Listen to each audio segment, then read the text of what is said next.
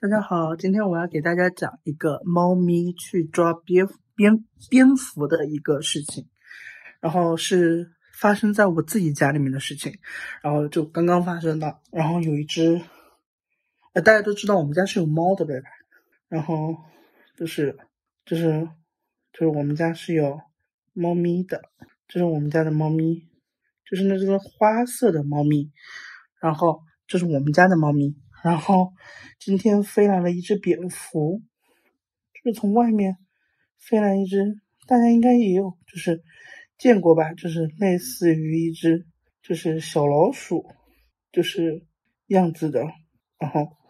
对，然后一般就是在就是西方的那个神话传说里面，它是能够吸人血的。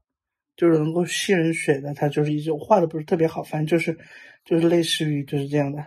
就是蝙蝠嘛。然后它就飞到我们家，飞到我们家。然后后来我的猫看到之后，然后就一直追着这个蝙蝠，就一直追着这个蝙蝠。然后最后它把这只蝙蝠，因为我们家是有一个这个门是推拉的门，就是。这个推往这边推的一个门，然后这只蝙蝠，然后就被，然后它就被，它就一下子就是钻到了这个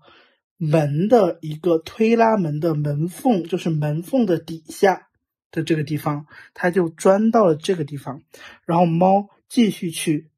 捉它，就是尝试把它捉出来，把这只蝙蝠捉出来，然后后来我并不知道这件事情，然后并不知道这件事情之后，然后我就去推。这个门，就是我从用这个方面去推这个门，然后推的时候，然后不小心把这只蝙蝠给压，把它的翅膀给压掉了，所以它就没有了翅膀，没有了翅膀，它没有了翅膀。然后没有了翅膀之后，我发现它特别，它长得像什么？